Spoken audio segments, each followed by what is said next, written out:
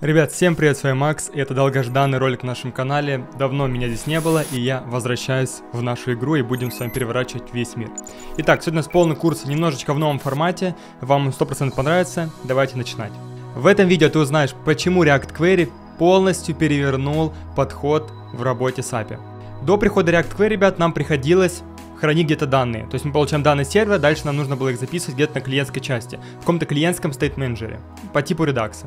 Нам постоянно приходилось работать с большим количеством экшенов, редюсеров, констант и так далее. Также мы постоянно вручную создавали переменные для обработки ошибок, для записи данных, которые приходят с сервера, э, для записи статуса загрузки, для записи статуса успешного запроса. Для всего этого нам приходилось создавать свои собственные кон- константы или поля внутри объекта. В итоге каждый раз, когда мы делали запрос на сервер в той или иной сущности, области, условно там запрос от юзера, запрос там по продуктам, по товарам, по категориям, почему угодно, нам всегда приходилось создавать из loading, к примеру, error, из success и дата константы, ну, либо поля внутри объекта. И в 2020 году появляется он, React Query.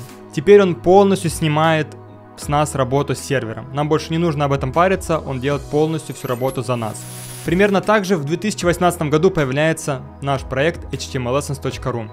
За последние 5 лет мы, сделали, мы проделали огромнейший путь с простого сайта до полноценной образовательной платформы, где каждый из вас сможет обучиться профессии мечты.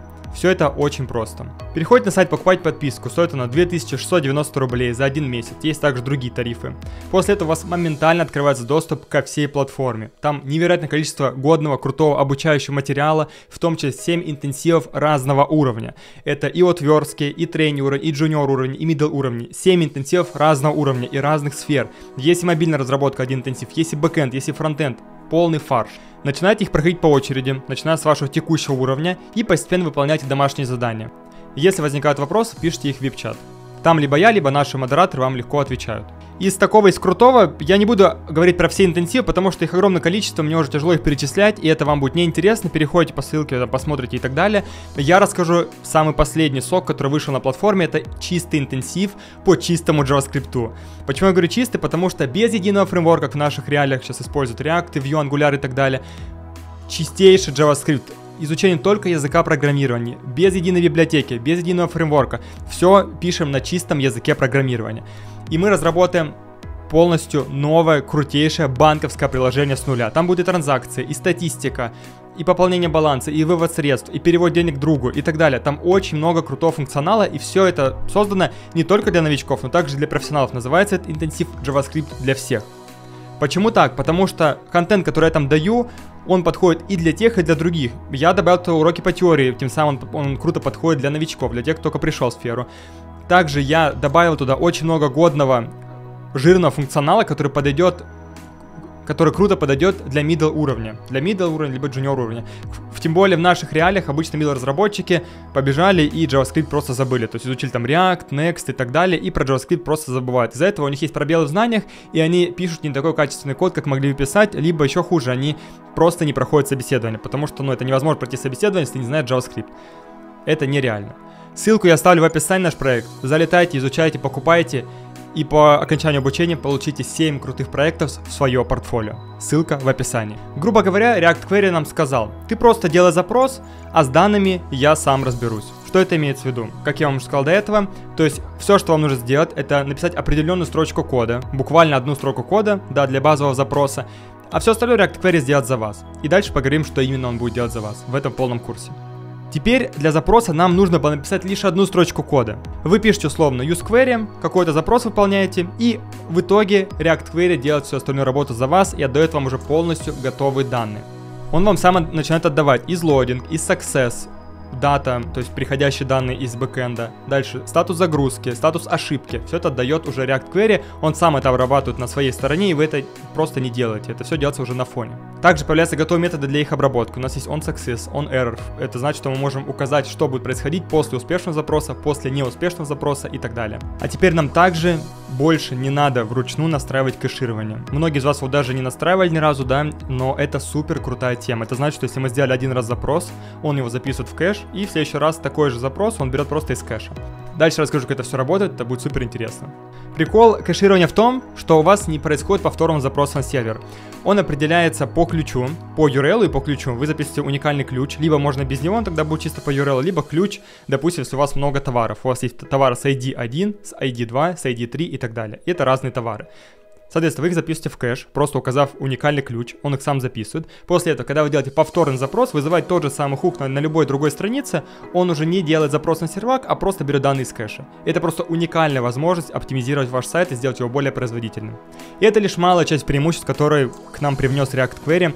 Об остальных преимуществах мы поговорим дальше в полном курсе. Уже на примере полноценного кода э, мы напишем с вами небольшое приложение. Мы поговорим с вами немножко и о теоретической части. Расскажу все, что вас интересовало и разберем все моменты по React Query. Если понравилось крутое креативное начало, ставь лайк, подписывайся на канал и пиши свой комментарий, как тебе такой формат.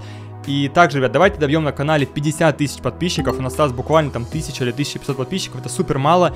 И также круглая цифра близится у нас в телеграм-канале. Там сейчас 4500 подписчиков. Осталось буквально также 500 подписчиков. То есть и там нужно подписаться, и там ссылки все в описании. В телеге у меня уникальные посты, где мы делаем разбор различные, то есть я могу там взять кусок кода и разобрать его в телеге прям. Э, либо я выкладываю полной версии шорцев, либо устраиваю там розыгрыш. Короче, телега это просто максимально много эксклюзива. И вся информация обо мне, когда новый ролик и так далее, все выходит именно там в уникальном формате и только для Telegram, в эксклюзивном формате. То же самое происходит в группе ВК, поэтому кому интересно, можно и на телегу, и на ВК подписывать. Ссылки все в описании. А, также, ребят, хотела говориться, что этот курс максимально свежий на текущий момент. Сегодня с 8 июля 2023 года, не знаю, когда этот ролик выйдет на канале, Э, это к чему говорю? К тому, что я вижу много блогеров, да, которые снимают почему-то по старым материалам. Я вот когда готовился к этому ролику, подготовил информацию, собирал, кто что снял и так далее, чтобы составить крутое содержание этого курса, я понял, что устаревшая информация. React Query как такового больше нету. Сейчас новая версия называется Tanstack React Query. Ну, точнее, Tanstack Query версия 4. Хотя все снимают почему-то про третью версию, когда она уже не актуальна, причем давно, и там есть определенные различия, так что имейте в виду.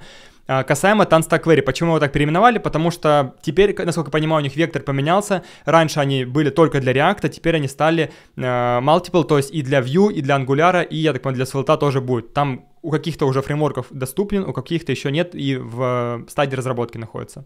А, некоторые из этих вопросов, вообще наше содержание было составлено благодаря вам, нашим подписчикам в Телеграме. Я туда кидаю, как обычно, э, собственно, опросник, да, Google форму, вы ее заполняете, и я оттуда беру самый интересный вопрос, добавляю в содержание. То, что, ну, чтобы оно было максимально полным, и этот курс получился поистине полным курсом и ответил на все ваши вопросы, которые вы задавали в той самой форме в Телеграме.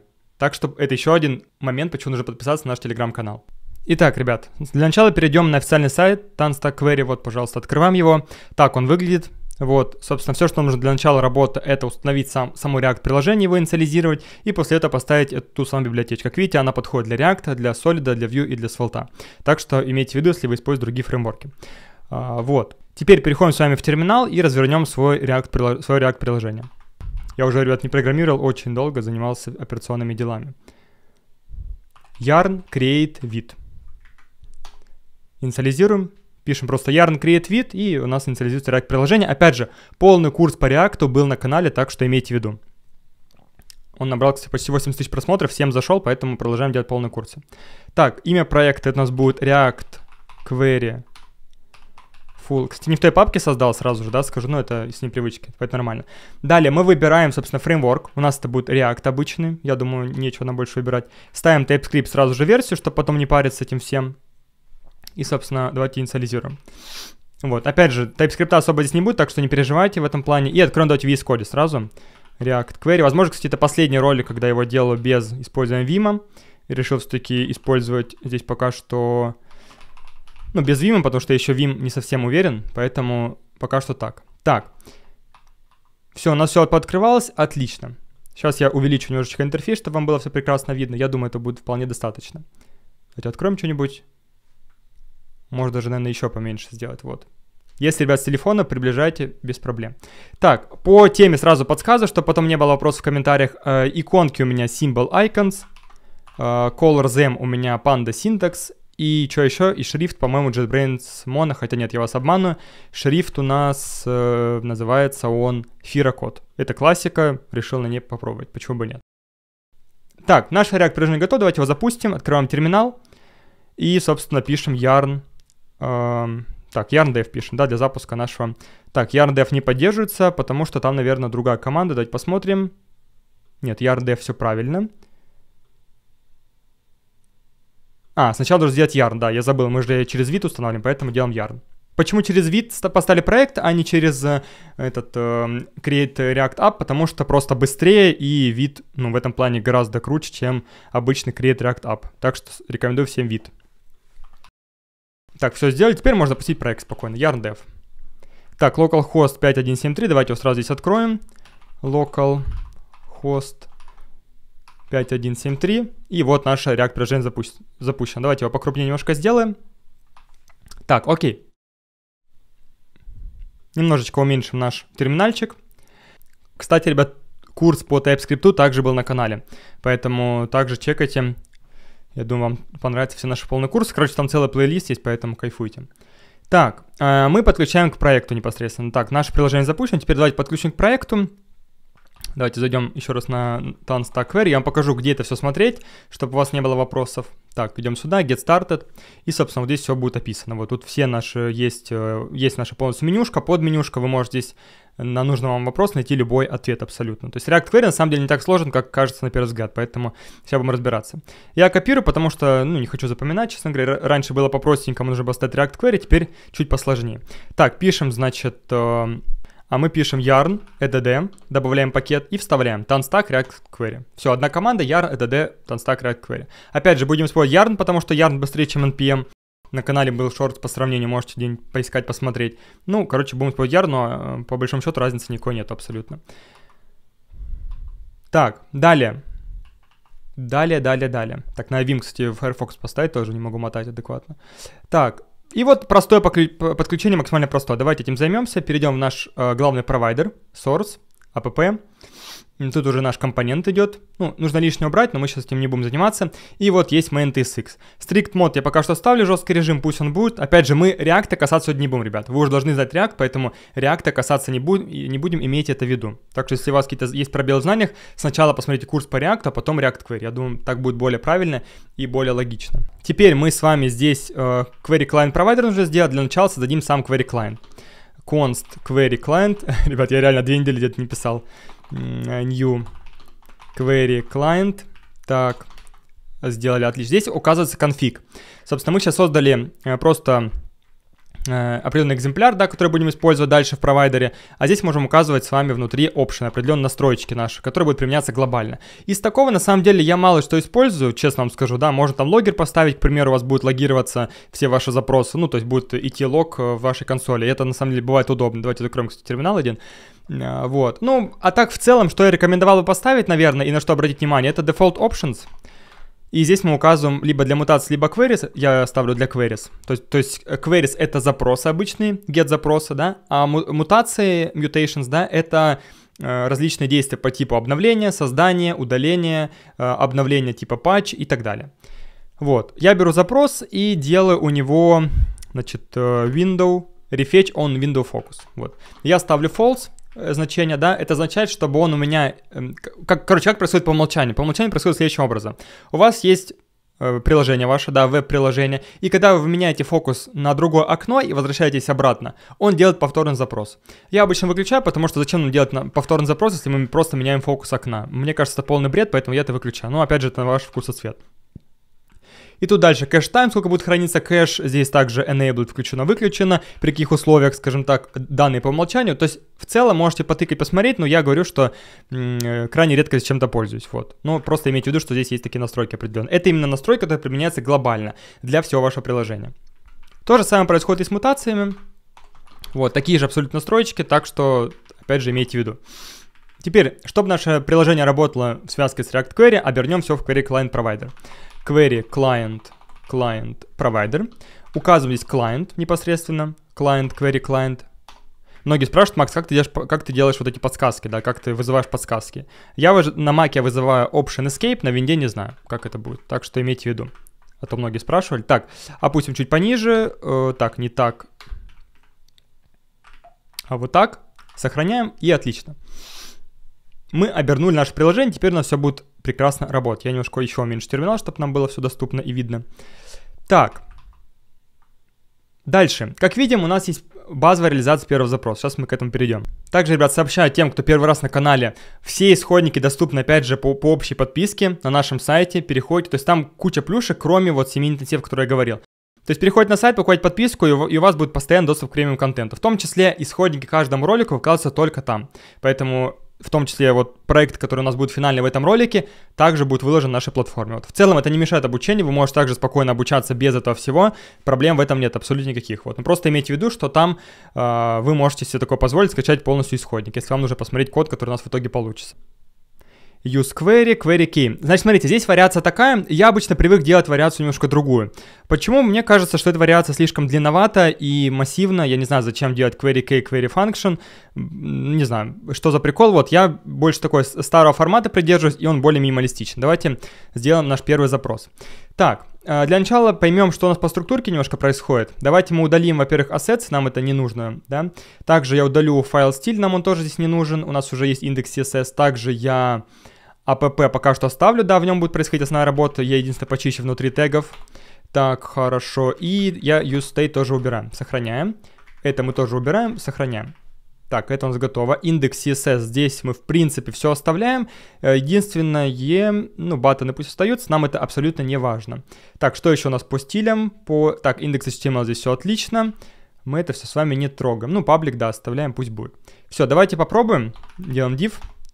И я, допустим, хочу получить какие-то данные сервера. То есть, чтобы нам отправить запрос на сервак, нужно понять, где вообще наш сервер находится и какой у нас API для, для этого доступно.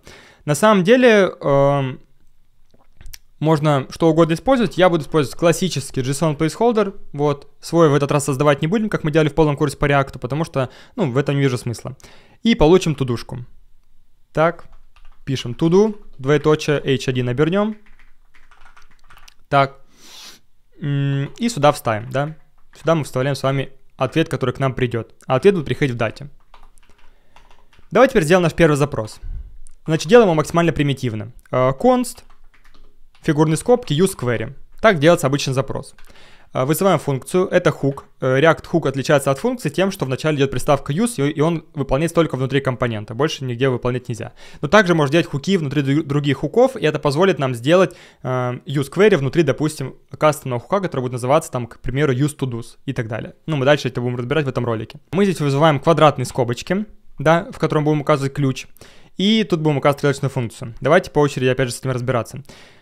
А, что сюда будет приходить? Сюда приходит, как я говорил в начале этого ролика, готовые уже пачка данных. То есть, допустим, излодинг, да, состояние загрузки, то есть э, загрузка или не загрузка на данный момент. Что происходит? Грузятся данные, либо уже загрузились. Состояние is success, да, это значит, что типа уже произошла успешная загрузка. Также есть is error, is fetched, is fetching, is paused. Я все разбирать не буду, ребят, потому что их слишком много. Так что это все в документации почекайте. Я разберу лишь основную, лишь практическую часть. Вот то, что вам реально понадобится в реальных проектах. А все остальное вы уже чекните сами для каких-то своих узких, узконаправленных случаев. Error — это сюда приходит полноценная наша ошибка, то есть э, сама ошибка как, э, в таком стринговом формате. Э, дата приходят данные, все, все данные, которые мы получим. И из такого еще есть, ну, и success, который я уже рассказал, в принципе. Теперь указываем здесь ключ. Значит, здесь у нас будет получаться... Давайте сначала получим, наверное, одну тудушку, да? Поэтому я пишу todos. И через запятую указываю ее уникальный айдишник, todos. Допустим, он пока что будет один, э, э, пока что без этого. Ну, давайте вверху я создам const э, todo id. Опять же, для примера, можно это не делать, ну я так, допустим, да. Вообще в потенциале, понятное дело, что это у вас будет условно URL вашей страницы. К примеру, там, slash to do, slash 1, slash to do, slash 2 и так далее. Так, теперь вызываем стрелочную функцию. И в ней вызываем, что нам нужно, да, сделать запрос. Пока что без Axios, да, Axios это библиотека для запросов, э, обычно ее используют, но мы пока что без сторонних библиотек используем обычный fetch. Пишем fetch и вызываем здесь, собственно. Так, я скопировал? Нет, я не скопировал. Давайте скопируем, скопируем фетч и вызываем сюда. Все, запрос успешно выполнен. Теперь закрываем скобочку обязательно. Все. Но пока что работать ничего не будет. Как мы знаем, если мы используем fetch, да, это база JavaScript, опять же, если базу не знаете, на сайте интенсив по JavaScript есть, чекайте, изучайте и так далее. Это прям база, которую нужно знать, без этого в React идти не стоит. Как вы знаете, fetch у нас данные не отдает. Сначала нужно их а, переконвертировать в JSON формат. Вот, иначе мы их не получим. Поэтому для этого у нас, помните, я вам говорил, что есть различные удобные методы. Они указываются здесь через запятую. объект, и вот они все наши методы присутствуют, методы, поля и так далее. Нам нужен метод здесь select, который позволит нам выбрать данные. После того, как они пришли, вот пришли данные, мы их выбираем, да, и что-то с ним производим, какие-то действия. Поэтому берем select. Я могу сделать его асинхронным? По идее могу. Но это не точно. Давайте я лучше стрелочно сделаю, мне она больше нравится. Select uh, async. Вот так мне больше нравится стрелочную функцию. И мы здесь, значит, получаем, вместо этого получаем дату, да, response. И отдаем uh, await response.json. Вот такую тему. Если посмотрим сам запрос, как они рекомендуют, да, то они здесь ну, прям тупо делают через Zen. То есть можно через Zen сделать, можно без Zen. Давайте пока попробуем через Select, если что, э, посмотрим. Дату он подчеркивает, потому что нужно сделать проверку, иначе она может быть undefined, поэтому делаем проверку. Если дата есть, ну, я обычно делаю, знаете, можно вообще без даты, можно и через из success сделать. Ну, давай через дату. Если дата есть, то мы делаем вот эту историю. Если нету, то мы говорим о том, что данных, данные к нам не пришли. То есть h1, э, not found, допустим. Вот так сделаем, сохраняем. Теперь в дате у нас что есть с вами? Дат, дате у нас пока что ничего нет, потому что он возвращается, к сожалению, видите, э, асинхронщина, да, возвращается, потому что здесь нужен await все-таки. Но await, он нам ругается здесь сделать await. Не знаю по какой причине. Возможно, так нельзя делать. Вот, давайте посмотрим, что у нас есть дальше по дате. Да, есть только Zen, он так нам не позволит сделать. Нам бы здесь по-хорошему тогда Zen добавить все-таки, как они рекомендуют. Ну, давайте сделаем так, окей. Пусть будет Zen вот здесь. И мы тогда возьмем вот эту штуку сюда вынесем. Честно, этим способом вообще никогда не пользовался, потому что он бесполезный. Вот. Ну, так сделаем. Так, что у нас дата приходит теперь? Дата у нас является еще раз, дата, точка... Ничего, да, у нас дата, это просто дата. Дата any.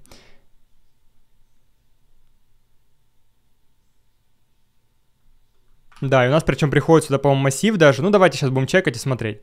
Так, переходим сюда, отправляем запрос, и ничего не происходит, соответственно, да, что-то подгрузилось, но что-то пропало сразу же. Идем сюда.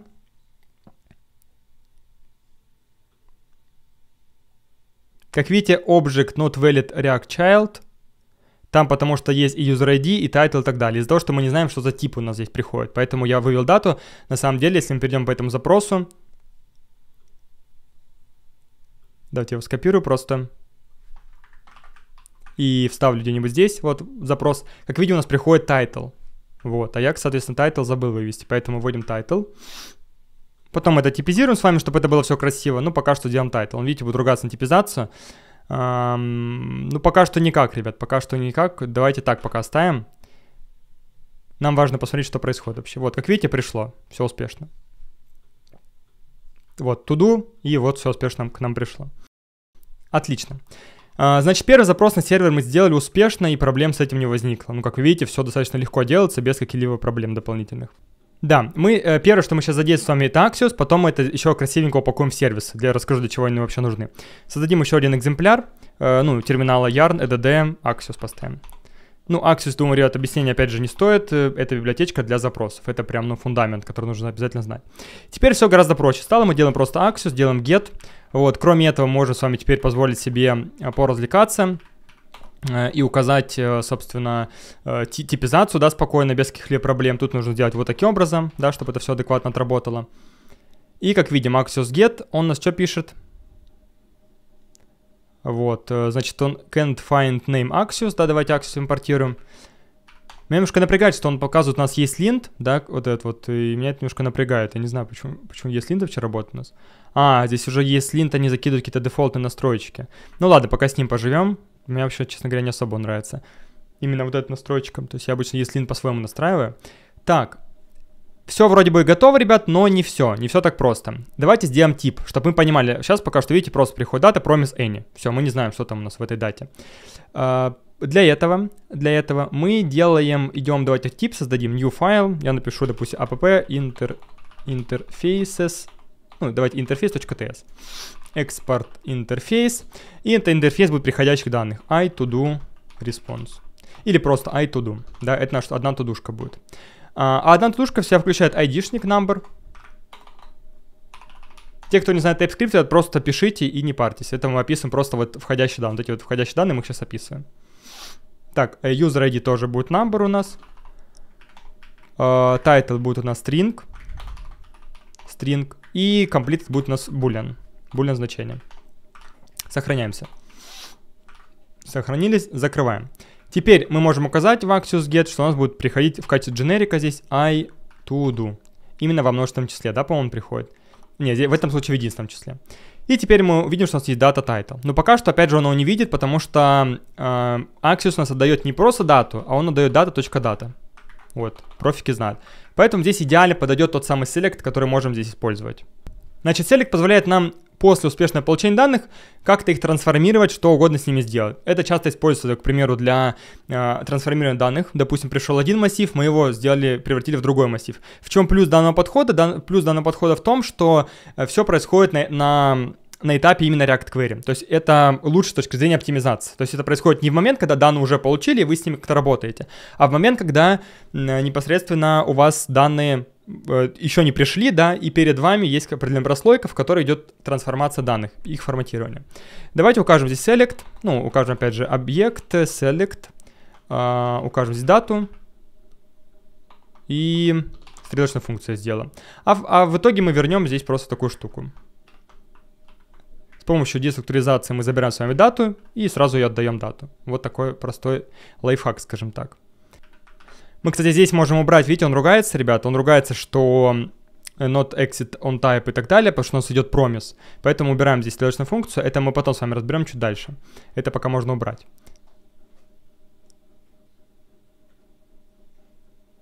Как видим, что у нас дата приходит сюда успешно. Вот она дата. Теперь, ну, сразу видите, у нас все поля подсказывают. Title, user ID, что угодно можете посмотреть.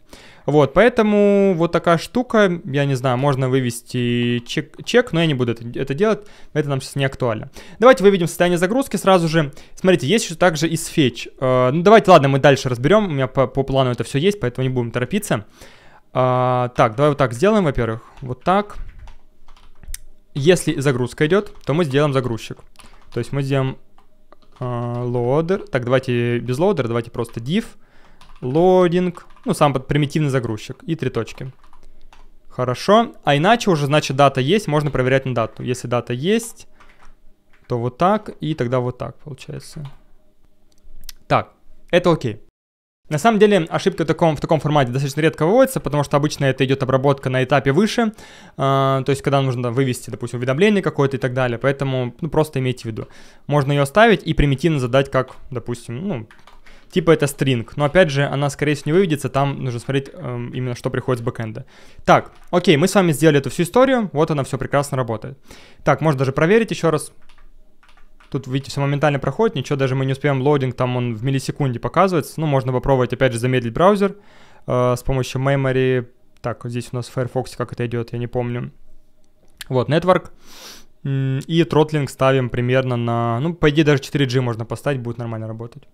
Грузится. И моментально загрузилось. Так, давай 3G поставим good.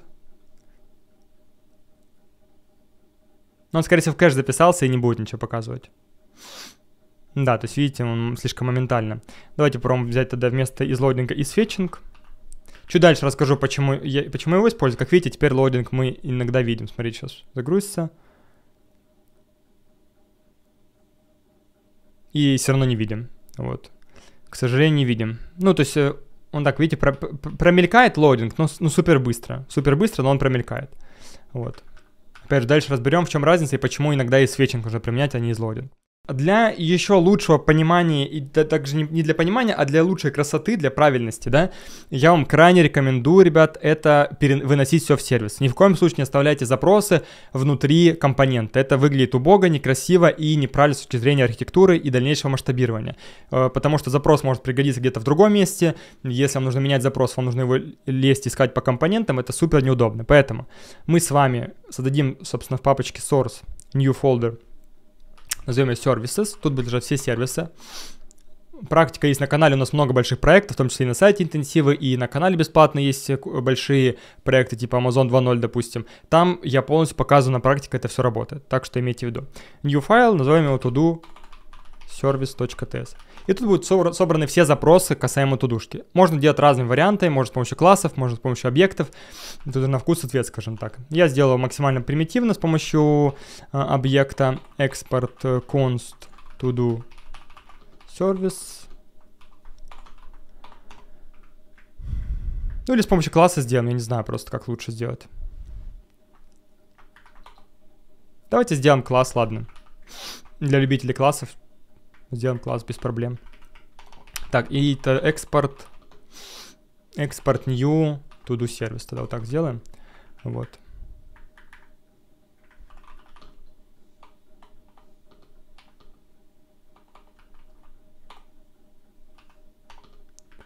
Вот. Это означает, что мы отдаем в конце уже э, развернутый класс. Вот, то есть мы его э, создаем новый экземпляр и его отдаем. Для того, чтобы мы каждый раз не писали new to do сервис. То есть это разный подход, опять же, работали с классами подробно внутри JavaScript интенсива. Так, э, и теперь дальше забираем наш запрос полноценный, полностью красивенького забираем и создаем его здесь. Это у нас будет запрос get by ID, получение по ID-шнику определенного элемента. Значит, мы делаем его асинхронным обязательно, асинхронным и вставляем сюда. Тут делаем возврат и возвращаем просто Axios get. Так, значит, это мы импортируем обязательно. И это тоже мы импортируем обязательно. Хорошо. Так, это мы сохранили. Вот такой у нас получается сервис. Да, и мы можем для примера, я вам покажу, как сделать еще один метод. Так, это у нас будет уже get all, получение всех. И все у нас, по-моему, получается через iTodo приходит сразу много элементов, и они просто, по-моему, без айдишника в конце, вот так. Тут единственное, мы теперь айдишник получаем отсюда. Можно его как стринга, можно как number, нам это особо разницы нету. Давайте пусть будет как стринга, потому что в итоге это стрингой получается. Нам это нормально, нам это окей, в принципе. И теперь сделаем вот так вот, с помощью а, обратных кавычек мы можем указать здесь переменную и указываем здесь айдишник. Вот. Тем самым у нас получается, получаем по айдишнику и вот здесь все дело прописано. Более того, из-за того, что мы используем класс, можно здесь очень круто делать э, примитив, э, не примитивные, приватные э, поля. К примеру, поле будет URL, URL, и оно будет равно вот этому значению. Почему бы, собственно, и нет. Так, давайте вот так вот так сделаем. И здесь все пропишем. Смотрите, приватность в обычном JavaScript делается через решетку, но так как мы используем TypeScript, можно позволить себе сделать private с помощью, э, с помощью надписи private, собственно. Вот. И я бы это сделал как константу, типа большими буквами.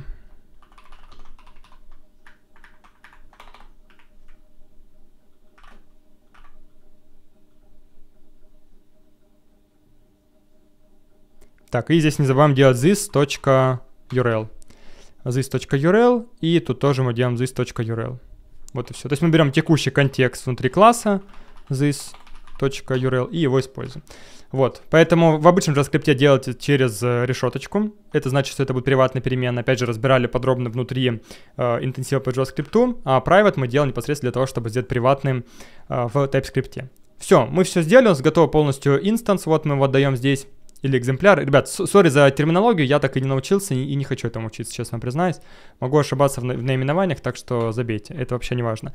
И теперь здесь можем это все использовать. Мы берем to-do сервис, to-do сервис get by... Ну, давай в этом случае получим все элементы. Давай по получим все элементы.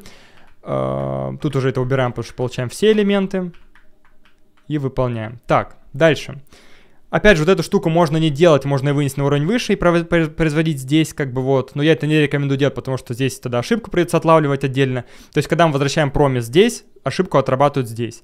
Если же мы здесь будем разворачивать, пытаться на этом этапе делать э, вот эту штуку, э, деструктуризацию данных, ответных данных, то тогда нам придется потом в потенциале э, непосредственно обрабатывать ошибку уже на этом этапе, делать трекетч и так далее, и это уже более геморройно. Поэтому просто держите это, э, имейте это в виду, скажем так. И вообще здесь можно, на самом деле, URL брать прям todos. Вот прям todos, потому что это у нас класс todos, э, почему бы не, не брать прям todos вот так. Вот, потому что он является у нас корневым по факту. Тогда здесь мы делаем просто здесь URL, а здесь мы делаем здесь URL, вот такую штуку. Еще лучше стало. Вот плюс в том, что выносится отдельно. Теперь у нас в отдельном файле расположены все запросы к серверу. И это невероятно удобно. Так, пойдем дальше. А дальше мы с вами развернем все эти данные на нашей страничке. Тут все оставляем прежним, единственное здесь. Теперь, когда у нас приходят данные, можем проверять на длину данных. data.length. Если данные есть, то мы тогда их можем вывести. То есть мы делаем дата. Давайте мы как-нибудь эту, вот эту штуку все уберем. Делаем data.map. И э, to разворачиваем. С помощью мапки мы все дело разворачиваем. Так, тут мы что-нибудь сделаем прям простое-простое, поэтому взял обычный div, который просто будет в себе иметь э, b, да, в нем будет идти todo.id, и рядом будет идти просто todo.title. Вот и все. И тут через двоеточие можно поставить. Если данные есть, то делаем это. Если данных нету, data not found. Вот и все, собственно. Такая простая проверочка. Так, что еще, что еще? Это убираем теперь сверху, нам не надо здесь.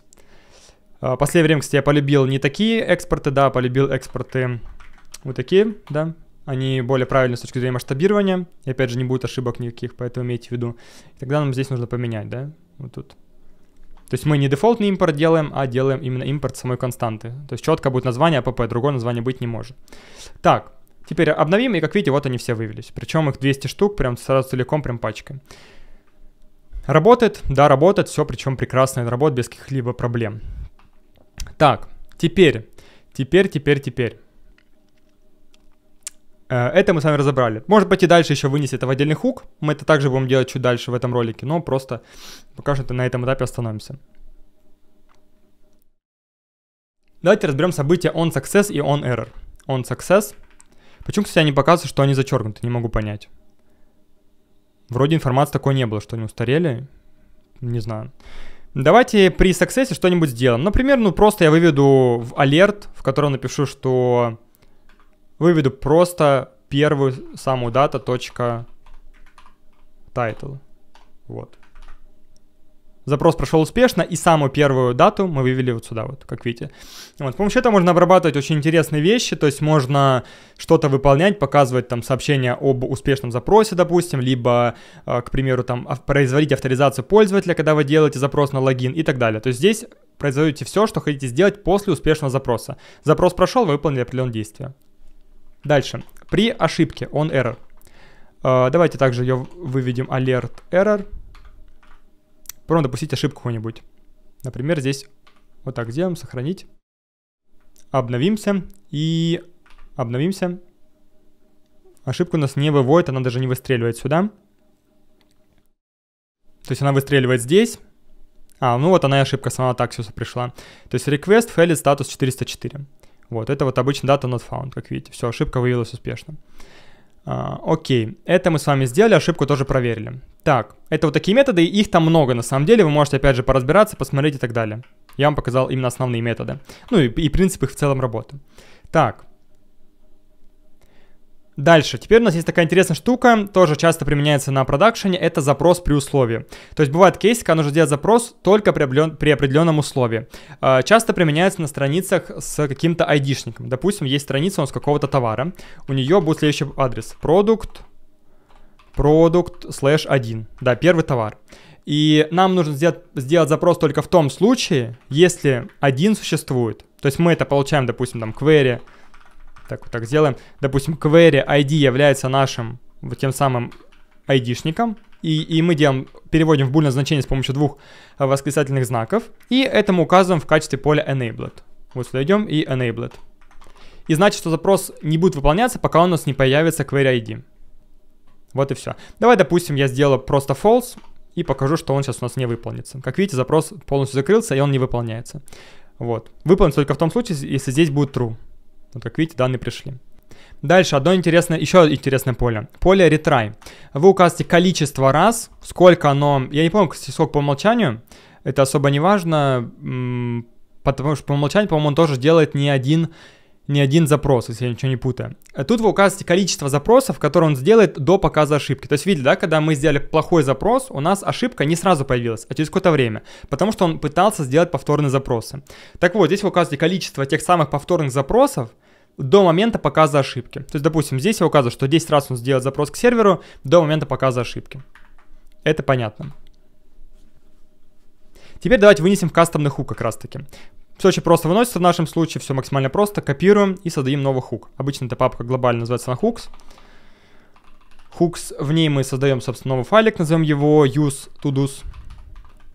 Обычно не так называется. И здесь export const use todos. Обычно функцию создаем, можно стрелочную, можно не стрелочную. Я обычно делаю стрелочную, и э, в ней потом отдаем вот эту всю историю. Вот, даже можно пойти дальше, вот это из loading и так далее. Мы это отсюда копируем просто. А здесь отдаем сразу use query. Вот так сохраняем, вот и все, собственно. Некоторые ошибки, давайте мы, собственно, с вами... Так, что-то не, не подсказывает он адекватно. Добавить все импорты, вот.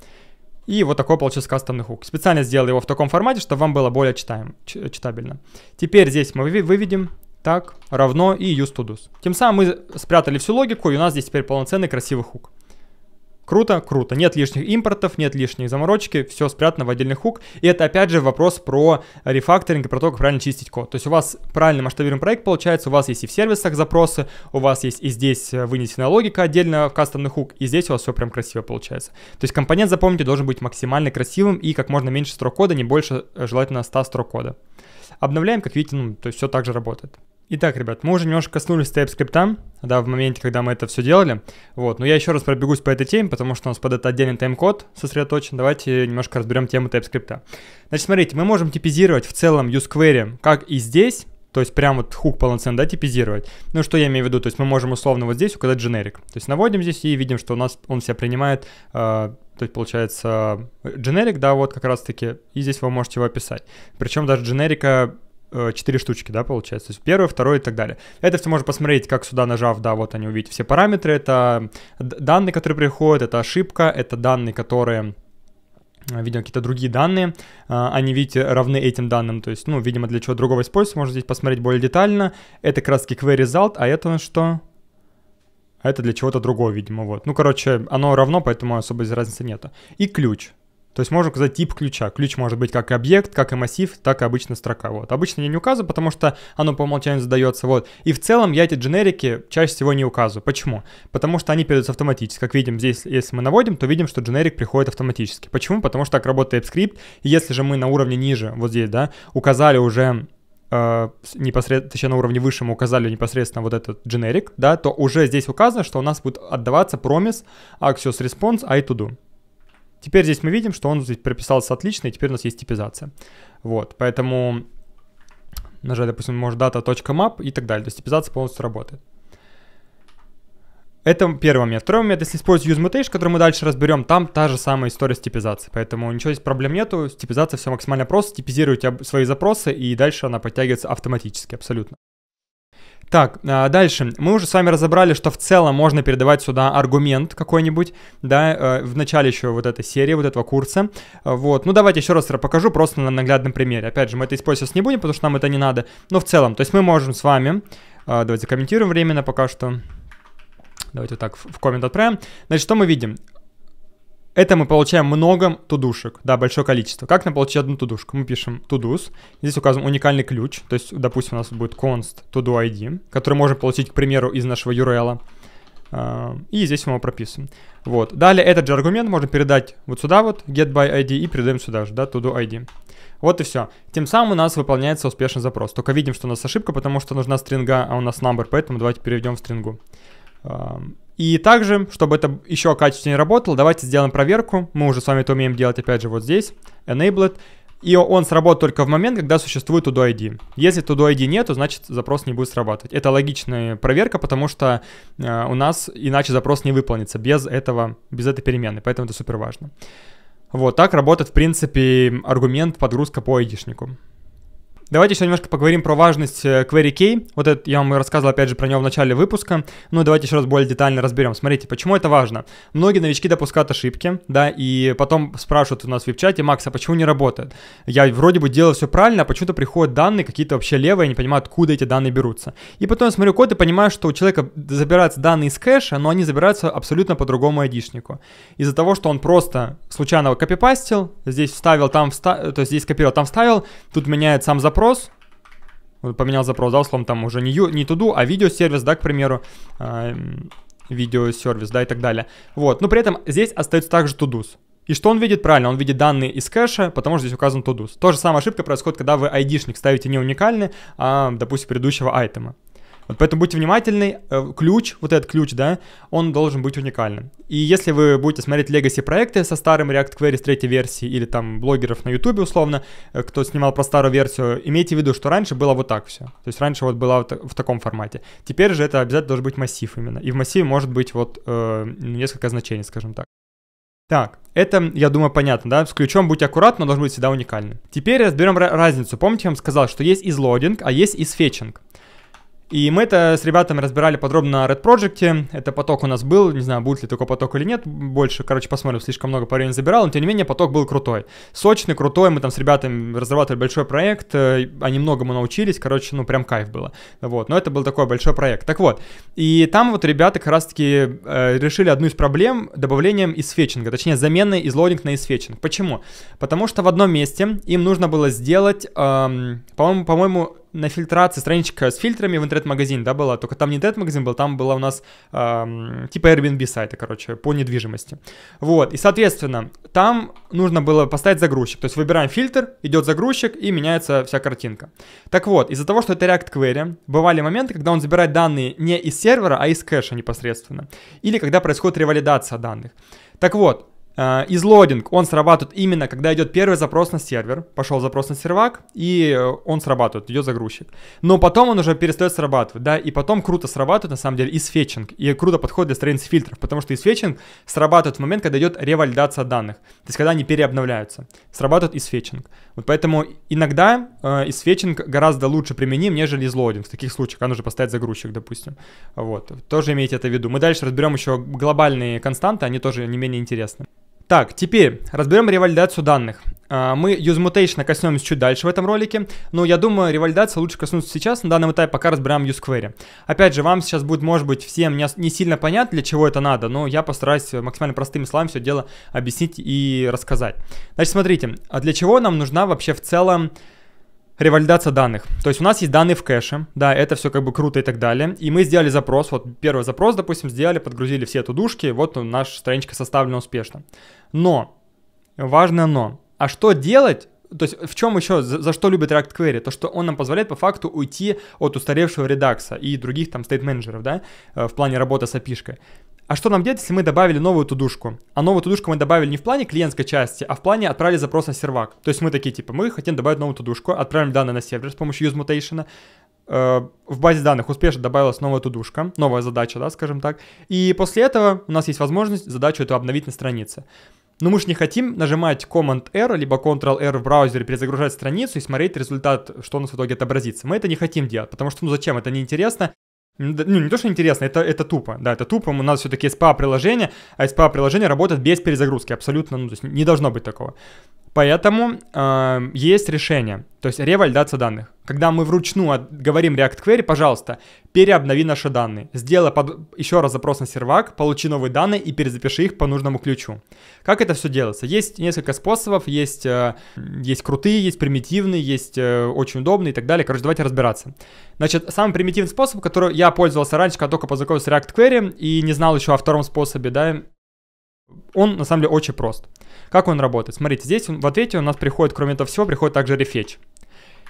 Это метод, э, функция точнее, да, можно ее посмотреть более детально, вот она. Какие-то опшены принимаю, честно, опшены ни разу не, прописывал, э, не знаю вообще зачем они, никогда не нужно было это делать. Вот, вот так она выглядит, этот метод замечательный, да, который позволяет нам как раз-таки сделать рефетч данных. Работает максимально просто, можно посмотреть это все в библиотечке, этот обсервер посмотреть здесь, это проблем с этим нету. Кстати, опять же, в, если не знаете, что такое обсерверы, мы их также разбирали в интенсиве по JavaScript, то есть на сайте, который есть, поэтому, ребят, ну, фундамент он всегда важен. И теперь что мы делаем? Когда мы хотим обновить данные, мы делаем, допустим, ну, я сделаю кнопку тупую, да, refresh. А, а в лучшем случае не кнопку сделать, а когда у нас выполняется useMutation, мы дальше разберем useMutation, да, допустим, мы там делаем удаление товара какого-то, да, или что-то еще там. Давайте быстренько сделаем, delete и так далее. Тут какой-то запрос там делается, условно. Мы это с вами уже умеем делать, запрос какой-то делается. И тут есть on success, помните? При успешном запросе. И при успешном запросе делаем refetch данных. Все. То есть, допустим, удалили товар, Дальше про- пошел запрос, мы выполняем рефетч, когда успешный запрос пошел на сервак, то есть произошел все успешно. Делаем рефетч, и тем самым данные переобновляются. Вот. А, в нашем случае такого пока что я не могу показать, потому что давайте сделаем пока просто по кнопке. У нас нет пока что usemutation, мы пока не знаем, что это такое. А дальше с этим разберемся более детально. Ну, я пока вызову его на этом этапе. Ну, понятно, что нужна стрелочная функция обязательно, иначе работать не будет. Выполняем здесь рефетч. Что он у нас ругается рефетч? А, потому что возвращается промис, да, а здесь у нас в итоге не промис. Ну, это нормальная ошибка, это если int у нас э, э, такую историю показывает, все здесь окей как бы. Давайте пойдем сюда и выполним наш непосредственно рефетч. Вот, рефреш делаем. Как видим, произошел новый запрос, еще раз. Вот один запрос на сервак. Делаем рефреш пошел новый запрос, и данные перезаписались. Вот так он работает, это самый примитивный способ. Какой способ более продвинутый? Почему он примитивный? Да, во-первых, потому что э, это значит, что нуж, нам нужно быть привязанным и находиться всегда рядом с нашим хуком useQuery. Иначе мы рефетч, нам придется прокидывать его с помощью пропсов, максимально глубоко, далеко, куда угодно. И это неудобно. Это вот то, почему мне он в итоге не нравится, почему я перешел на другую историю. А на что я перешел дальше, сейчас покажу. Мы рефетч убираем. И у нас, помните, мы с вами создавали в, в этом, в main.tsx, мы с вами создавали, вот он, query client. А по факту есть хук, который называется use query client, который позволяет нам получить этот контекст и с ним работать дальше. Что я имею в виду? Смотрите, делаем const use query client. И получаем в ответе вот, э, ну, просто query client, да, и у него много интересных полей. В том числе есть метод, то есть, заметьте, нам, мы теперь не привязаны к этому useQuery, можно находиться где угодно. Единственное, что нам нужно здесь, это запомнить уникальный ключ, по которому у нас записаны вот эти данные. И тут есть много крутых методов, опять же, можете разобраться в документации, опять же, они узконаправлены, большинство из них, но нам здесь понадобится именно invalidate queries, ревалидация запроса. Invalidate queries. Вот, а здесь указываем сам запрос непосредственно. То есть мы идем use todos, вот todos, и здесь мы его также вставляем.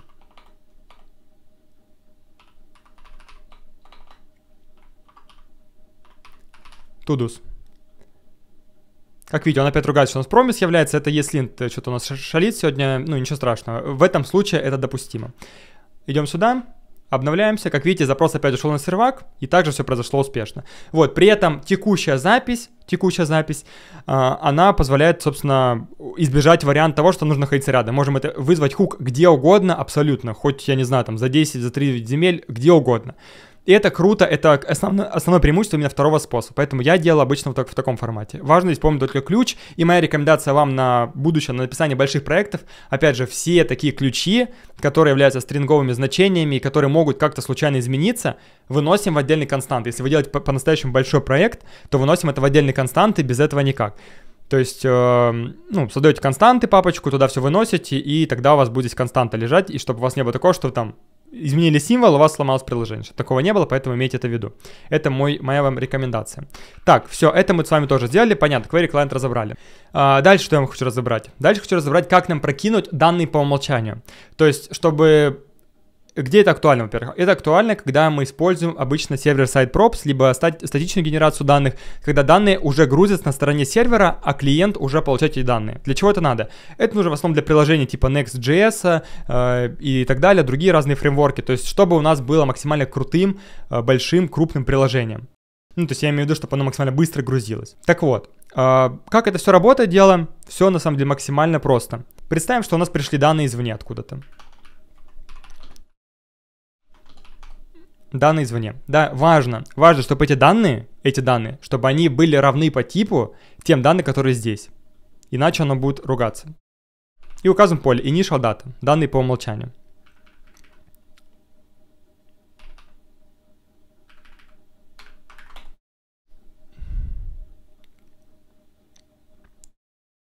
Можно сделать return просто и вернуть дату. Но если мы вернем дату, он будет ругаться. Смотрите, что он пишет. Он пишет, что type any is not assignable to type Axios response. Нам нужно это сделать именно по типу как Axios response. Давайте так даже сделаем. Как мы это все будем делать? Смотрите, значит, Axios response. Если мы сюда наведем, это у нас является не Axios response. Axios response это первая вариация. Так что будьте внимательны. Поэтому это равно объекту, в котором есть дата, а уже в дате мы записываем те самые данные. А те самые данные в нашем случае это, ну давайте вот так запишем в итоге, объектик, и вот давайте одну штучку запишем какой-нибудь. Один, uh, completed false, title hello и user ID 1. Вот так. Смотрим сюда. Так, что у нас из missing? Ну, что-то что ему не нравится, ему не нравятся другие моменты, это нам абсолютно нас не интересует. Потому что, ну, у нас Access Response, это я так примитивно писал, на самом деле так писать не нужно. Да, и на самом деле здесь лучше просто написать тип, ну, свой лучше написать тип. То есть тип у нас будет дата, а и туда вот так. Вот, так, так будет лучше. Ну, тогда он будет ругаться, как видите, да, то есть это постоянная проблема с Axios. Вот, конечно, чтобы такого не было, тут уже при, при, нам приходится приходить к тому, что я говорил до этого. Развернуть на этом этапе, чтобы сюда нам передавалось именно уже полноценные данные тогда такой проблемы не будет. Тогда мы здесь можем не, не оборачивать дополнительную обертку, можем не делать, и тогда передаем сразу весь массив. Вот, ну пока что делаем так. Короче, важно этом этапе понимать то, что, что по, по типу должно быть равно. Давайте я верну, верну назад. Вот, то есть вот этот тип должен быть равен этому типу. Вот, который здесь приходит. Иначе работать не будет. Вот часто у новичков такая ошибка. Все, теперь у нас есть данные по умолчанию, обновимся. Вот, мы сейчас разницы не заметим никакой абсолютно, но по факту некоторые данные уже подгрузились заранее, а потом они просто перезаписываются. Окей, это все понятно. А, это самый такой примитивный вариант. На самом деле, продвинутый вариант я вам показывать сегодня не буду, потому что он крайне редко используется и в основном в Next приложениях. Это опять же больше на тему Next. Давайте я покажу, где он находится, чтобы вы понимали. Это, по-моему, даже больше находится в SSR. А, так, SSR, наверное, где-то здесь находится. Вот, как видите, первый вариант, который я вам показал, это initial data, самый примитивный. Вот, получили данные, дальше мы их initial data прописываем здесь, все. Как видите, у него очень просто работает по той причине, что э, он Axios обертку убрал. Тоже нужно иметь в виду. Дальше, опускаемся ниже, и тут уже вариант с гидрадацией краски. Это второй вариант, который более сложный. Это вариант для продвинутых, скажем так, да, и он, опять же, и позволяет вам избежать лишних пропсов. Вам не нужно прокидывать пропсы, вы, вы сразу же внутри вашего запроса на серваке берете сам, тот самый экземпляр query клиента и в него все складываете, без проблем. То есть, как это происходит, вот смотрите, вы, вы взяли, дальше вы используете специальный query client prefetch query, и потом вы делаете э, дегидрацию. То есть это значит, что мы э, ну, обратная часть дегидрации, это означает, что мы берем данные, да, и, собственно, их э, закидываем в наш React Query. Вот и все. Вот поэтому два таких варианта есть. Опять же, второй вариант более продвинутый, но это уже больше, наверное, уровень middle, может быть, junior plus и так далее. Так что чекайте, смотрите и так далее. Так, это, я думаю, понятно. Теперь переходим к самому, наверное, одному из интереснейших, это мутации. Разберем с вами сейчас use mutation и как он работает вообще, delete, update, patch и так далее. Но перед этим, ребят, хочу вам рассказать про нашу шикарнейшую подписку, в которой вы всего лишь за 2690 рублей, именно столько стоит минимальный тариф на один месяц, получаете доступ к огромному количеству образовательного материала. Это интенсивы, 7 штук, целых 7 штук интенсивов разного уровня, от нуля до продвинутого. Там и верстка, и JavaScript для всех, в котором есть банковское приложение, и для начинающих интенсивы, и для продвинутых, и даже по мобильной разработке есть. Полный спектр всех услуг и все, всех уровней вы получаете абсолютно по выгодной цене 2690 за один месяц. Но я вам рекомендую тариф, который есть подороже. Э, он просто крут, крут тем, что вы один раз купили, больше никогда не платите, но об этом чуть дальше поговорим. Также поддержка 24 на 7 в VIP-чате, рубрика «Проект с нуля», скоро там выйдет мини-курс по Amazon 2.0, тот самый Amazon, который прошумел на нашем IT-ютубе. Э, я сделаю э, по нему мини-курс. Немножко задержки произошли, но он также выйдет на платформе. Все исходники, в том числе к этому ролику и ко всем другим роликам, там более 70 репозиторий, выложен также на платформе только для премиум подписчиков. Все скидки на новые продукты тоже есть в премиум чате. То есть у нас э, Red Summer недавно стартанул, сейчас идет поток. У нас недавно, скоро стартанет новый продукт, еще там около 1000 рублей будет стоить. А для тех, у кого будет подписка, он будет стоить 500 рублей. То есть все скидки также для тех, у кого есть премиум подписка на наши другие продукты. Так что это невероятно выгодно. Потом большой розыгрыш раз в месяц и авторские стримы также раз в месяц проходит. Кроме этого, есть тариф на 3 месяца, берете его один раз, и у вас доступ на целых 3 месяца. Здесь прикол в том, что получаете также еще в, в подарок закрытый клуб 5 утра. Это клуб, где э, есть крутой контент, сейчас делюсь там отчетами про свой челлендж и так далее. Короче, крутой закрытый клуб 5 утра. Вот, я уже 4 года встаю 5 утра. И доступ навсегда. Один раз оплатили, стоит дорого тариф, да, чем другие, э, ну, в сравнении с другими тарифами, но при этом один раз оплатили и больше никогда не платите. Тариф позволяет вам на всю жизнь иметь абсолютно бесплатный доступ ко всем материалам, ко всему, что будет выходить в будущем и ко всему, что вышло в прошлом. Так что это прям самый кайф, и у вас будет уникальный тег VIP в чатике, вы будете крутым чуваком, у вас будет приоритетная поддержка. Так что имейте в виду, это для людей, у которых есть деньги. Вот, также на страничке, на страничке можете посмотреть список всех интенсивов, там и JavaScript для всех, и бэкэнд для начинающих, и бэкэнд для продвинутых, и фронтенд для начинающих, и фронтенд для продвинутых, и React Native, и версточка наша. Короче, полный фарш. Ссылку оставляю в описании, ребят, переходите, и пользуйтесь и кайфуйте. Вот потом пишите отзывы под этим роликом. Я думаю, что всем точно все понравится. Отзывов много. Я даже ссылку, может, кину в описании на отзывы, посмотрим. Итак, давайте, чтобы двигаться дальше, я поставлю себе лимит. Так, лимит, походу, делается, давайте перейдем в наши запросы. Как видите, все очень удобно и быстро. Лимит э, делается вот через такую тему. Придется обратно обернуть сейчас все. Оборачиваем, меняем. Так, и вставляем. Вот, то есть мы делаем стартовое значение и лимит 5. Проверим, работаешь. Да, видите, 5 штучек вывелось. Отлично, то, что нужно было сделать. Нам это пока что хватит. Так, э, чтобы у нас все прекрасно сейчас работало, давайте мы примерно накинем, что здесь будет происходить вообще. H1 э, тудус. Так, здесь будут те, все наши тудушки выведены. Ага, отлично. У нас не хватает небольших э, стилей. Да, давайте сделаем для, для body. Бади, паддинги по 20 пикселей. Ну, просто так сделаем паддинги небольшие. Отлично. И почему-то он центрируется. У нас, а, у нас бади уже есть, да, вот бади? Или нет бади? Не, бади нету. А что он центрируется, не понимаю. На каком этапе это происходит? А, вот бади есть, да, перепутал. Бади у нас есть. Давайте сюда вставим туда его. Так, и тогда это перенесем сюда. Хорошо, а это мы убираем. Так, э, значит, здесь я минимальную высоту оставлю, минимальную ширину, и флекс нам здесь не нужен. Все, красивенько поставили, пусть он стоит здесь. Так, тудушки у нас готовы. Что у нас за верхний отступ такой интересный? Э, так, H1. Это у нас какие-то тоже есть у него, наверное, отступы. H1. Margin top 10. Так, давай сохраним. Ну, все, вот так, я думаю, оставим. Так, базово сделали. Теперь давайте сделаем формочку нашу. Нашу формочку. Даже можно ее в правой части, я думаю, сделать. Можно сделать даже в правой части. Так. Ага, отлично. Так, здесь я сделаю style. Давайте сделаем display uh, flex. Давайте grid. Grid сделаем. И grid template.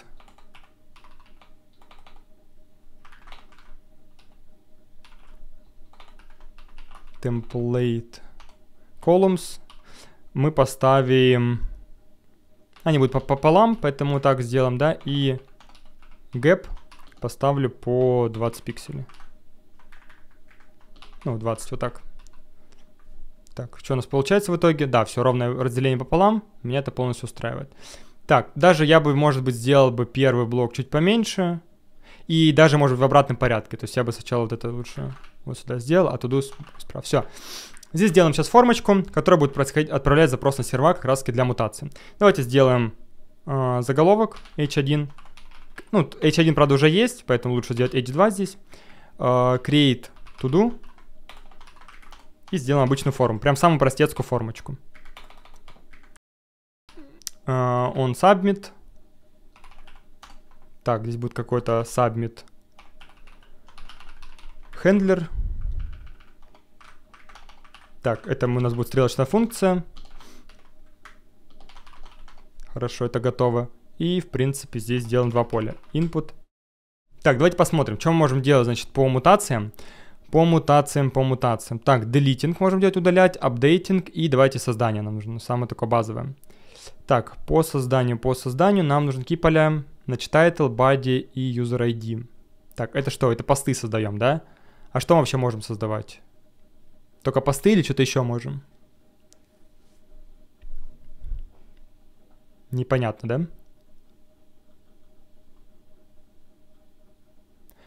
Ну, в любом случае, будем, наверное, смотреть на наш тип, да, вот, вот здесь, да. То есть у нас идет, получается, user ID, title и completed. Давайте мы title только сделаем поле. Не будем ничего выдумывать здесь. Uh, точнее, не title, да, а поле title. Для него сделаем состояние отдельно, чтобы мы могли его поймать потом, да. Const title, set title, use state. Опять же, ребят, смотрите наш курс, если вы не понимаете, что происходит. Так, и давайте пока что выйдем просто в консоль. Консоль log, э, title. Так, это мы примитивно все сделали. Дальше. Ну, это, конечно, не очень красивый компонент, лучше его разбить на подкомпоненты, но для нашего ролика это вполне подойдет. Так, ну и здесь базовая история, я ничего здесь как бы выдумывать не буду. Берем event э, и заполняем просто наше значение. Set title, event, .target, .value. Тут, в принципе, все по классике. Так, и value value будет равно у нас value. Хорошо. А, кроме этого, ну, value не, value, а title. Вот так. Кроме этого сделаем placeholder. Enter to do title. И, в принципе, пока что нам этого хватит. И button сделаем. Button uh, create напишем. Create. Так, что у нас в итоге получается? Вот такая штучка у нас получается. Меня все почти устраивает. Ну, чуть-чуть можно стилизовать наш, наш input. Прям совсем капельку. И можно это глобально сделать, я думаю. Кто нам это помешает? В принципе, никто. Input. Так, здесь мы делаем паддинги по, по 10. Да, ну по краям. Даже может тут по 15. Ну и я бы этот э, outline убрал бы.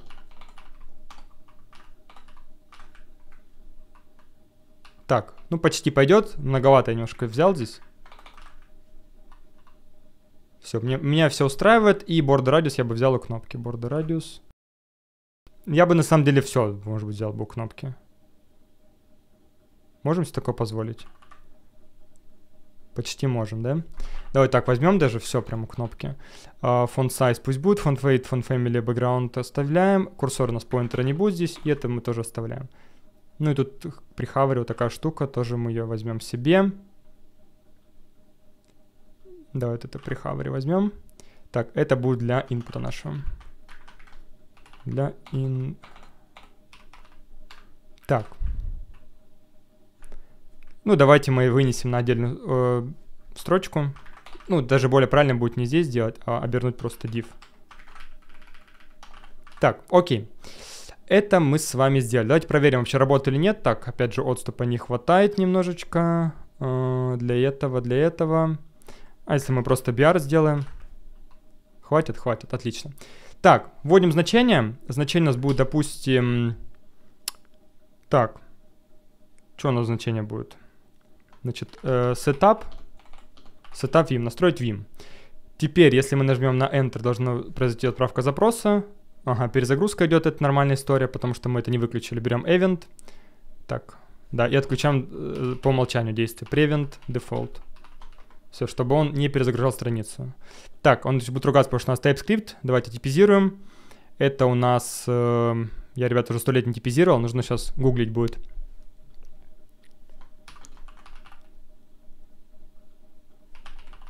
пишем, давайте вместе с вами погуглим event, uh, event form submit TypeScript. Так, смотрим сюда. По-моему, form event, да, он идет. Uh, вот, form event и такую штучку делаем. Так, только это не тот, подожди, это он change, это не то. Вот, он submit, вот эта штука, все, вспомнил. Вспомнил. Хорошо. Все, теперь все работает. Так, идем назад, идем сюда. Обновляем. Так, ключей нету. Ключи мы, кстати, забыли. Да, уникальные. Ведь он ругается. Давайте todo.id. Уникальные ключи прописали. Обновляем. Все, ошибок нету. Uh, так, что у нас там? Setup. Setup Vim. Enter нажимаем. Видите, отправился запрос. Вот, потому что мы на submit повесили. Нажимаем сюда. Опять же, запрос ушел. Отлично. Так. Тут даже не при хавере нужно, кстати, да, при фокусе сделать. При фокусе. Окей, окей, окей, окей. Это мы с вами сделали. Теперь можно ввести нашу мутацию. Есть, чтобы отправил, отправил запрос на сервак. И теперь, смотрите, мы делаем все по-правильному. У нас есть сервис. Сначала идем и оперируем этим сервисом. Делаем async, create, метод create, в котором для создания нам при, необходимо принять дату, но у нас будет только title. Переходить все остальное нам не надо. Title и сам ID, нет, ID нам не нужно, только title. Нам этого хватит. Все, что мы здесь будем выполнять, это будем делать э, также return, axios, а, пост-запрос. В ответе я пока не знаю, что там будет приходить, это, это ко мне особо не относится. И, насколько я понимаю, мы запрос делаем прямо на это, да? Прям вот сюда. Create res... Да, прям сюда запрос делаем. Поэтому мы вот эту штуку просто копируем здесь, здесь URL. Дальше нам нужно указать дату саму прокидываем дальше. Дата у нас будет, мы ее сами прописываем, эту дату. М -м так, так, пост, давайте наведемся, я уже не помню. Так, это у нас ответ приходит, а вот сама дата, да, то есть можно здесь ее прописать, что мы здесь требуем. Здесь ответ мы пропускаем. а сама дата у нас будет... Ну, давайте я ответ напишу any просто, а сама дата у нас должна быть типа I to do. Вообще, да? Ну, не совсем I to do. Работаешь? В принципе, не совсем, да, я бы сказал, что она работает. Не, не работает, нифига. Так, еще раз смотрим сюда. По... Давайте я сюда перейду, чтобы мне более... Вот, Энни... А, да, то есть вот дата, это, видишь, следующая дата. То есть мы два пропускаем, нам Т тоже не нужно сейчас, да, поэтому два, два пропустить нужно. Опять же, это можно не делать, это уже так чисто вкусовщина идет, как бы, потому что, по большому счету, мы здесь обычно делаем типизацию, но это я так для себя сейчас делаю. Вот, и мы еще можем более умно сделать, можем экспорт интерфейс, значит, тут сделаем можно вот так. I create, create to do, вот так можно сделать, и он будет экстендиться от uh, I to do, только мы уберем одно поле, omit I to do, Забираем все, только без э, ID-шника. ID он будет сам генерироваться. Это наш... Так, все здесь опять же, если int ругается. Так, идем сюда и вставляем здесь. Хорошо. Смотрим сюда, вот, видите, все, подсказки есть. Значит, смотрите, title мы прокидываем сюда, а user ID мы сами прописываем. Один, и этот будет false. Вот и все. Это данные по умолчанию для создания. Что мы в итоге сделали? Мы возвращаем Axios Post, указываем типизацию для того, чтобы показать, какие данные будут приниматься. Дальше по текущему URL принимаем title, все остальное по умолчанию. Первый user и completed false. Так, все, у нас готов полный сервис. Теперь можно переходить уже дальше. Чуть опустить. Опять же, видите, здесь очень много каши, и это, конечно, никогда не делается в одном компоненте, это разбивается по-хорошему два компонента. Это здесь я решил сэкономить время, поэтому имейте в виду, это не, не супер идеальная запись. Берем use mutation, то, что я вам уже говорил, тут пишем create to do, ключ, и дальше выполняем наш замечательный э, запрос. То есть мы делаем to do service create. И тут мы указываем наш title. Title можем принять как здесь, так и прям сразу могли его отсюда передать. Э, давайте я сделаем по-правильному, да, допустим, мы title не имеем здесь, тогда мы примем, примем в этой части. Принимаем здесь title. И при саксессе, когда все успешно запрос пройдет, мы, во-первых, сообщение о том, что все успешно, uh, to do created, тудушка создана, а во-вторых, во мы очистим наши поля, потому что они нам уже не нужны. Set title очищаем. Uh, ну, нам придется на уровень выше поставить, чтобы она работала, поэтому вот так я лучше сделаю. Но в целом, то есть мы прокидывали сюда, мы не будем отсюда брать, мы прокинули сюда, будем брать извне с помощью мутации. Как вызвать мутацию? Все очень просто. Есть специально для этого метод mutate. Вот, есть mutate, есть mutate э, async, мы сейчас об этом тоже поговорим чуть дальше. Давайте пока возьмем mutate, я вам расскажу, собственно, потом разницу. Вот, потому что раньше я тоже, когда начинал, я не понимал, в чем разница. И здесь мы выполняем mutate. Вот и все. Дальше передаем сюда title. Э, title. В нашем случае title вот этот. Передали, все отлично. Вот, пожалуйста. Так, Сохранили. Теперь идем сюда и пробуем сделать наш запрос. Так, setup vim. Открываем запрос. To do created, запрос ушел успешно. Как видите, вот если network посмотреть, вот наша тудушка успешно сделана. Options, вот пост, все успешно, запрос пришел о том, что все успешно создалось с айдишником 201. Вот. Получить мы, скорее всего, не сможем. Я думаю, что, ну, навряд ли, да, это так работает, потому что Типа много же данных. Ну, давайте попробуем воспользоваться нашим рефетчем. Ну, крайне, э, крайне навряд ли. Там будет айдишник неподходящий для нас. Да, пока вызовем, да, здесь. Но он будет ругаться, потому что он является этим промисом, поэтому лучше сделать типа э, async, да, здесь, здесь сделать await, ну и так далее. Давайте чисто по приколу проверим. Я, честно говоря, сам ни разу так не делал. Но, скорее всего, нет, потому что, ну, много кто может создать, и навряд ли они это записывают в общую базу. Давайте пока лимит уберем здесь. 205 поставим лимит. Так, еще раз. Давайте обновим сначала. Да, видишь, он только 200, то есть, ну, мой 201 не показывает, ну, что и логично, собственно. Давайте что-нибудь добавим здесь. Create. Оп, переобновилось, и тут да, двигатель также 200. Ну, потому что было бы странно, если в общую базу бы все записывалось. Поэтому протестировать как, так, как такого мы не можем, но если бы был ваш реальный проект, то вы так могли бы протестировать, условно. Так, это мы закрываем. Окей, все, это рефетч, вы поняли, да, в чем прикол? Другие, да, вот разобрать, есть on success, есть также on mutate и on settled. В чем разница? Смотрите, on mutate э, это означает, что мутация уже произошла, да, а on settled означает, что мы, мы выполнимся, неважно, то есть все, что будет внутри onSettled, выполнится неважно от того, что это будет успех либо ошибка. То есть выполнится в любом случае. Это означает onSettled. То есть, условно, ошибка, не ошибка, всегда но выполнится здесь. Это по факту то же самое, что finally в обычном try-catch э, конструкции. Да, finally то же самое. Вот, поэтому, ну, это крайне редко используется, опять же, ну, хотя он целый, были случаи, когда я его использую, в основе это он success, опять же. Разница лишь в том, ребят, что mutate, он является синхронным, как видите, да, это не асинхронный, а mutate async является асинхронным. Что это, о чем нам говорит? О том, что когда мы используем mutate, мы обраба- он уже за нас обрабатывает все ошибки, все successes, все за нас обрабатывает, вот здесь. Если же мы используем mutate async, то никто за нас ничего не обрабатывает, нам приходится самим делать try catch, самим оборачивать блок, выводить ошибки и так далее. Вот, поэтому чаще всего используется mutate, ну, иногда mutate async тоже нужен, когда вам нужно э, самим это все обработать. Теперь давайте еще разберем интересный хук, который у нас есть, да. Он называется, он глобальный, называется он use is uh, fetching, use is mutating case, есть также use uh, is restoring. Вот, ну, я хочу из, из fetching разобрать он будет показывать нам количество, сколько раз э, у нас приложение сделало переобновление данных. Это актуально для загрузчика общего на сайте. То есть это будет именно глобально работать, вы можете вызвать его в любом месте. Давайте сделаем, допустим, count fetching, он именно количество возвращает. И попробуем протестировать немного. Так, я прямо его где-нибудь выведу вот здесь.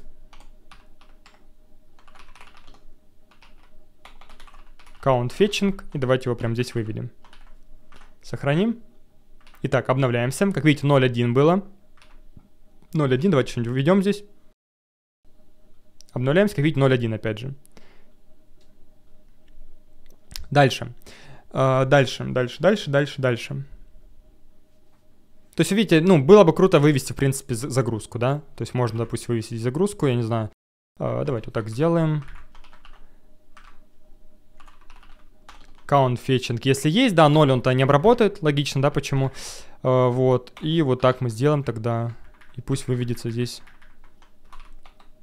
лодинг, вот так.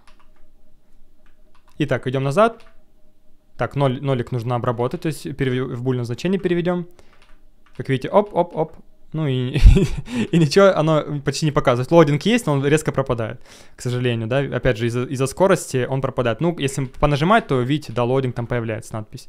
Но она крайне быстро. Дальше, ребят, вопросы из зала. Вот, многие спрашивали про кэш тайм и slate time, да, в чем, в чем их, точнее, stale time, в чем их различие. Значит, смотрите, мы это можем проверить вот здесь, use to do, опять же, это домашнее задание вынести в отдельный хук можно, красиво оформить, допустим, use create to do и так далее. Да, давайте здесь посмотрим. У нас есть, значит, slate, э, точнее, stale time, не знаю, почему я так говорю, да, это время определенное. И есть также cache time. Вот, в чем, собственно, разница? Значит, смотрите, stale time мы указываем время, да, количество секунд, да, непосредственно, или, по-моему, тут в миллисекундах, да, идет? Да, в миллисекундах а время, э, до какого момента данные будут считаться свежими. То есть мы получили данные с бэкэнда, указываем количество миллисекунд, и именно столько миллисекунд данные будут считаться свежими. Что значит свежие данные? Если они свежие, значит они могут использоваться и так далее. Если же данные уже устарели, это время прошло, они устарели, при следующем загрузке приложения он автоматически делает запрос на сервак и переобновляет эти данные, то есть делает их заново свежими. Поэтому данные устарели, запросили новые, они теперь опять свежие и так далее. А cacheTime, cacheTime, он именно указывает, сколько миллисекунд до момента, когда данные нужно полностью удалить из нашего кэша. Вот, то есть мы указываем количество секунд, сколько данных будет лежать в кэше, после этого они полностью удаляются из кэша. Вот различие stale time и cache time. Просто вы имели в виду, потому что многие спрашивали, не знаю, на самом деле здесь все максимально просто, не знаю, почему спрашивали. Итак, ребят, хотел бы подфиналить еще последним вопросом, самым, наверное, основным, и э, то, что спрашивают меня новички часто. Макс, так это получается полная замена редакса, мобекса, э, жуштанда и так далее. На самом деле нет, ребят. В чем основное различие, еще раз? Если вы детально смотрели этот полный курс и смотрели вступление особенно, да, и задачу React Query, почему он пришел в наш мир вообще, почему он такой востребован, да, то вы понимаете, для чего он нужен. Вот, на самом деле не только один React Query, там есть и другие, типа RTK Query есть, есть там э, SVR, э, по-моему, так называется. Короче, их много, но React Query считается номер один. Ну, я, по крайней мере, так его считаю. Вот на втором месте, наверное, RTK Query, если вы используете Redux. Но не суть. А почему это не замена? Потому что, еще раз, мы работаем с серверным состоянием, с асинхронным стейт-менеджментом, да? То есть важно его не путать с клиентским стейт-менеджментом. Его никто не отменял. Что я имею в виду под клиентским, да, для новичков объясняю. Когда мы работаем с UI-элементами на странице, когда мы работаем, э, допустим, делаем, на какой пример привести, я не знаю, музыкальное приложение типа Spotify, у нас все эти данные хранятся на клиенте. То есть какой трек сейчас воспроизводится, там, какие-то еще данные, там, полоса э, трека, да, скажем так, не знаю, там, э, статус трека и так далее, неважно все клиентские состояния, вот которые влияют на визуал именно на клиентской стороне, то есть вот то, что видит человек, пользователь, да, скажем так, это все управляется с помощью клиентского state менеджмента будь то контекст, будь то use state, будь то что-нибудь продвинутое типа Redux, Mobix, Жуштанда и так далее, это все управляется именно таким образом. Вот. Но использовать вот эти все перечисленные инструменты для асинхронного стейт менеджмента я не вижу никакого смысла в этом, потому что иногда я использую, да, в том же э, редакции бывает, ну, хочу экшены поюзать, да, асинхронные, почему бы нет. Но крайне это неэффективно, потому что там нет кэширования, там нет других плюшек, которые предоставляют тебе React Query. Поэтому, на мой взгляд, для асинхронного стейт менеджмента ты используешь React Query, а для всего остального ты используешь уже Redux, Mobix, Жуштанды и так далее. Это важно понимать. Все ряд полезных ссылки в описании.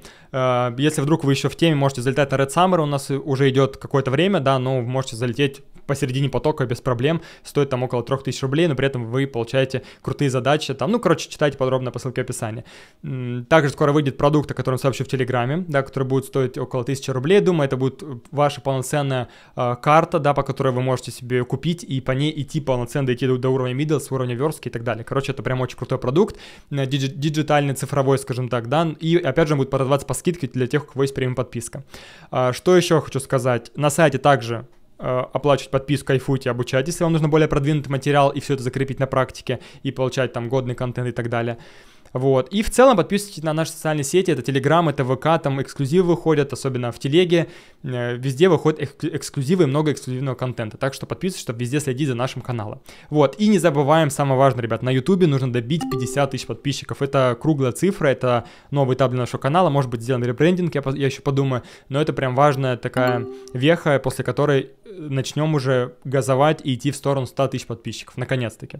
Вот, осталось немножко, давайте добьем до 50 тысяч, и условия остаются прежними, ребят. Под этим роликом должно добиться, я не знаю, давайте полторы тысячи лайков, и я-то снимаю следующий полный курс. Это не так много, я не буду просить 2000 лайков, полторы тысячи лайков, и я снимаю следующий полный курс. Он, скорее всего, будет на процентов на 90, он будет про Nest.js. Так что, ребят, ставьте лайки и встретимся с вами уже в следующем курсе.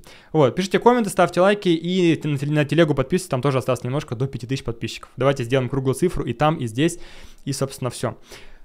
А, какие-то вопросы будут по React пишите в комментариях, отвечу без проблем. На этом все, ребят, с вами был Макс. Всем пока. Удачного вам программирования.